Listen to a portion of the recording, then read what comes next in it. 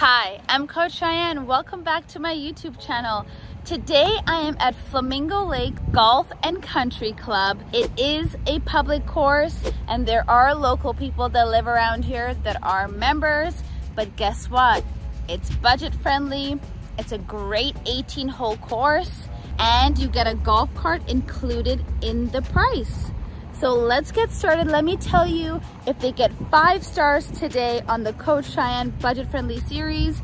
And as you know, we judge them off of price, food and beverage, customer service, course condition, and pace of play. I have just finished nine holes, so let's get started. It's the time that we all have been waiting for, the review. So it does seem like it is um, an older community.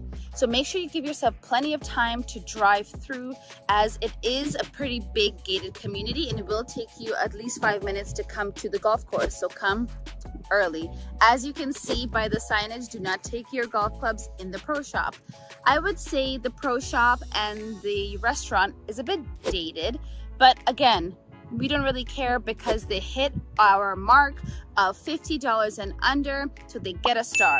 If you come after 12 p.m., it actually drops by $5, so it's $45 including the golf cart for 18 holes, which is an excellent price, especially in South Florida. And you can see this golf course is actually quite beautiful.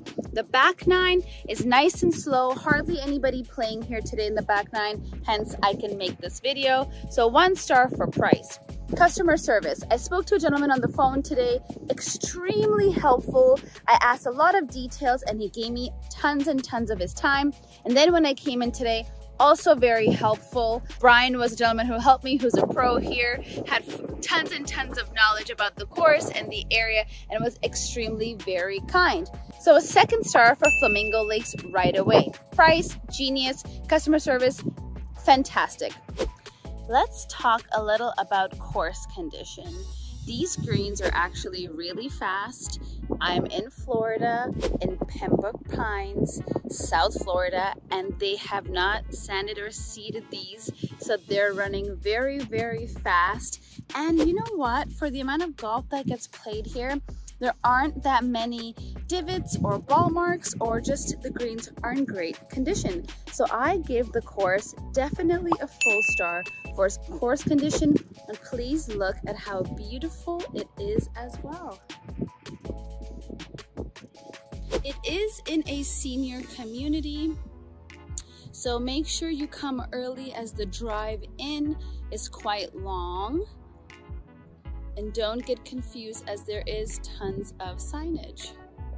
A hot tip for you, the back nine actually is quite slow in the evenings. I started at 3 p.m. and it seems like the locals here only play nine, the residents, and then the back nine is pretty open. Hence, I am able to make this video on the back nine. So course condition, a big star, pace of play, another big star.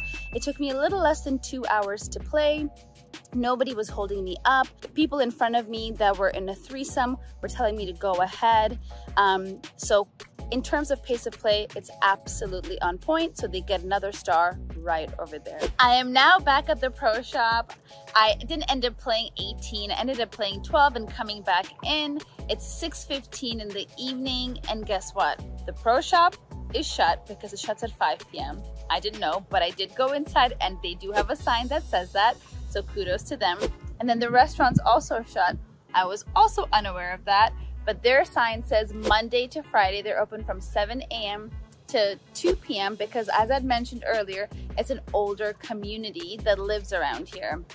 So Gigi's Cafe is shut. It is open much, much later on Saturday and Sundays. So if you're coming on the weekend, you're all set for food and beverage. If you're coming during the week, and especially in the afternoon, make sure you bring your own snacks, your own hydration as you might be left out in the sun and it's Florida and it's extremely warm. So note to self on that. Unfortunately, I will have to give them half a star because it's only six o'clock and I am dehydrated and I would like a water or something and there's just no access to going in there except for using the restrooms and there is a person out here cleaning the golf carts, but they have no access to the pro shop as well. So all in all, four and a half stars. I wish I could give them a full star on food and beverage, but they need to hydrate and keep people alive out here. Thanks so much for watching. If you already haven't subscribed, make sure to click the subscribe button. And if you'd like to see all the other budget-friendly videos, click right here and you will see the playlist of all the other ones that I've been to. Thank you so much for watching. If you live in Las Vegas and or where's my next stop after Vegas? Atlanta, in the comments below, and Augusta, in the comments below, let me know your favorite budget-friendly course that I can go and check out on my travels. See you soon. Thanks for watching and supporting. Bye.